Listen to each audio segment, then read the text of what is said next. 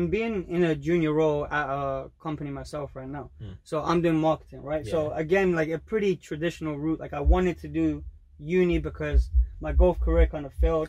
We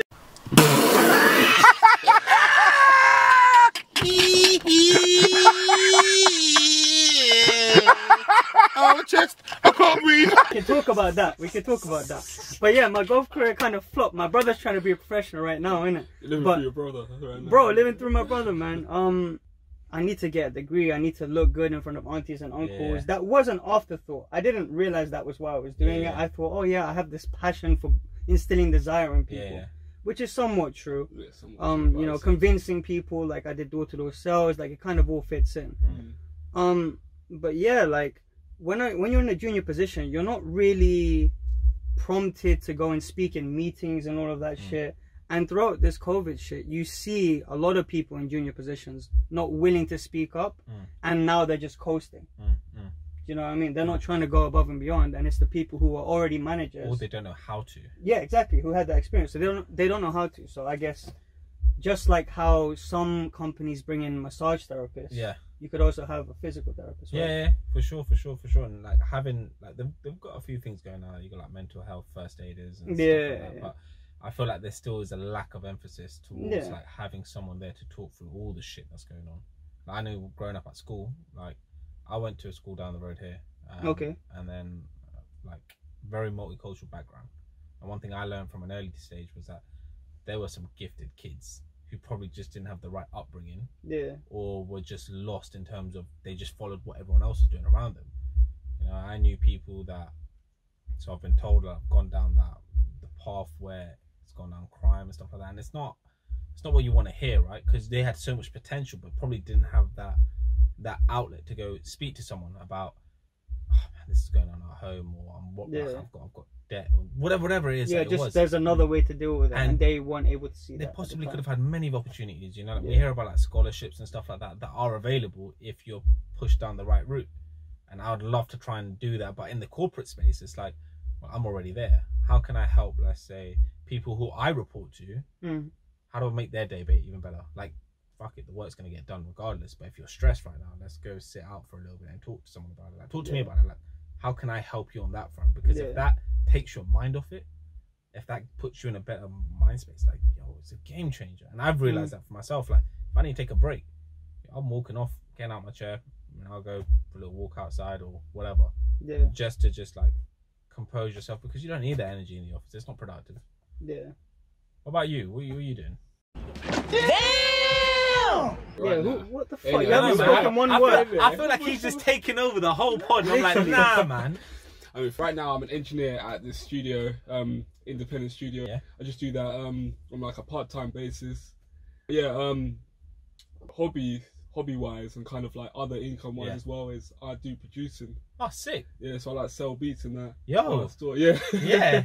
Got like the whole store set up. and Yeah, that. yeah. That was a build up, Yeah, you yeah. know. Man, man, I'm just Yeah. setting that up to Yeah, yeah, yeah, that coming Yeah, through. Come on. Yeah, yeah. I'm just trying to right now with that store. I'm just trying to wo- work on the marketing side of Yeah. it.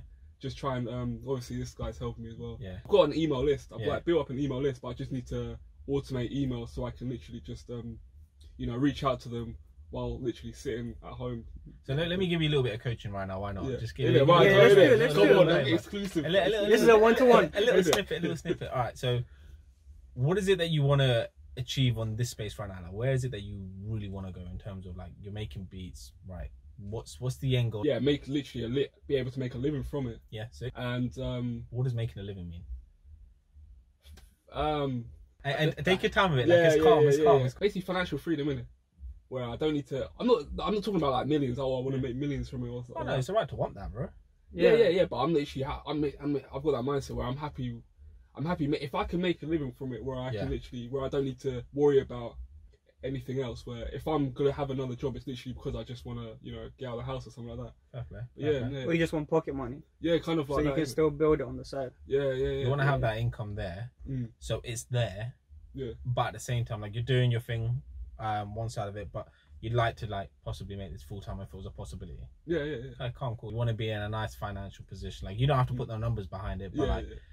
what I want you to think about now is how what's the first step in getting there? Because well, this is what I do in like in one of my strategy sessions I have with my co- my clients Mm. is that we plan like where we are right now, where is that we want to be, and it's cool. Like we we've got the blueprint. We know how we're getting from A to B. We need to make X number of beats. We need to reach out to X number of artists or whatever it is. Like, what's that first step for you? See, Mm. What have you been doing already? What are you doing already? Yeah, I mean, I've been making beats. because you've been doing actions. It's not like you don't have any action points. Yeah, I've got action points, but it's, I think You're trying to get deeper. You get yeah, I'm trying to get Yeah. deeper in it. I'm trying to get because that, those action yeah. points are good, but this is one thing I always tell everyone. Like, It's not tangible enough. it, Mm. well, nothing changes. Nothing changes. If those Yeah. actions aren't actually leading to you get closer to that goal, Yeah, in terms of let's say financial freedom right now, Mm. what needs to be done by the end of the month? Like, how many artists you need to reach out to? Is it a certain number? Is it do you know someone already and do you need to just push that straight away right now? Like, how, how are you using your time and energy? Are you spending more and more time creating beats when you could be using what you've got right now to get some P coming through? Mm. And if that That's helps you then create like the next beat where it's new equipment you get in or you're working at a different studio or you're able to reach out to other artists, then it will just kind of like yeah, yeah. I think for me, it's, it's I mean, I've, I'm making the beats and that, but I just need to, I need to work on actually send properly sending them out to people and that, properly marketing it. okay, so words probably. Okay, so are you Yeah. gonna do it? No, no, I, I said uh, properly. Properly, properly. Yeah, yeah. calm, calm, calm. So if you're probably gonna do it, how many people are you gonna reach out to by the end of May? End of May. See, so now in your Yeah, head, yeah. you're probably holding yourself back because you're like, okay, if I don't reach that number, I'm gonna be distraught. Yeah, yeah, yeah. Give yourself a tangible number. Give That's a tangible target. Number. It's hundred people. Okay, cool. So 100 people. Now break that down. We've got like four, five weeks in May. That's the, what, 20, 25 people a week. Can you do that? Yeah, I can do that. Yeah. Yeah. Okay, calm, cool. That's like five a day. If you're not Wow. working Saturday and Sunday. Yeah, yeah. Does that sound doable? Yeah, that's uh, that's Hey. good. Yeah, mate. Now yeah. it sounds like you've got a little bit of a plan to get done by by May. You never know, mate. That P could be coming in the end of May. All 100 people want to take your beats. Done deal. literally, man. Jeez, mate. Listen, man. This is, this is some exclusive coaching, fam, from Uncle P, man. Yeah, that's what you get because you can't get anything else. You gotta pay for the rest. Yeah, Yeah. yeah.